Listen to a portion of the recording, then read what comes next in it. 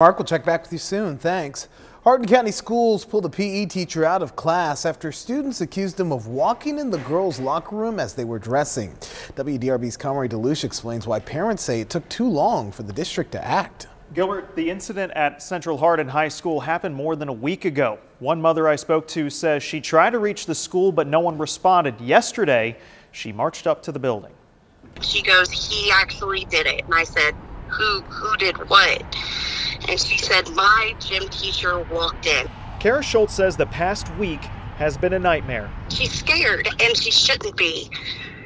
She's a 14 year old girl who should not have that kind of fear in her learning environment. Schultz says her daughter's gym teacher, Brian Walters, remained in the classroom at Central Hardin High even after being accused of walking into the girls' locker room to yell at them to be quiet while students were still dressing. She says she called the school repeatedly but received no response. So Tuesday, Schultz went to the school where she says she was told they'd already looked into the allegation. And I said, Did you interview my daughter? And he goes, Well, no, we chose the students at random that we were going to interview. And I said, So you didn't talk to my daughter?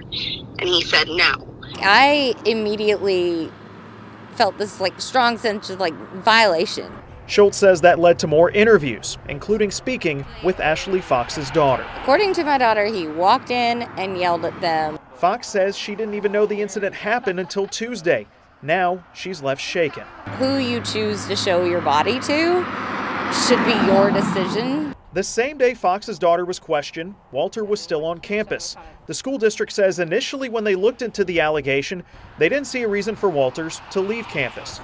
But as of Wednesday, he was replaced with a substitute for the investigation. I think they were kind of put in a tough spot by not having the information that reflected poorly on them, but now that we understand what happened, they really care about getting to the bottom of it and keeping our kids safe.